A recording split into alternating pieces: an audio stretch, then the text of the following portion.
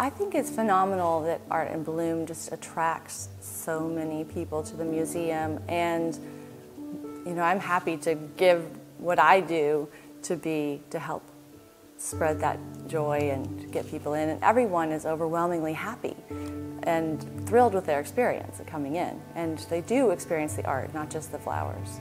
I, you go to London and everywhere you'll see these hanging baskets of flowers. And through the season you know, they're planted in there, but then as the days go on, they, they grow, and some grow over the side, and some grow together, and they are so beautiful by just the way that nature allowed them to develop.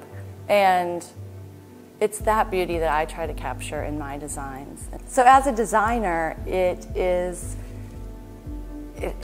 I feel like our work is sometimes a little bit undervalued, that we work with flowers and it's very temporary and flowers die and, you know, then what?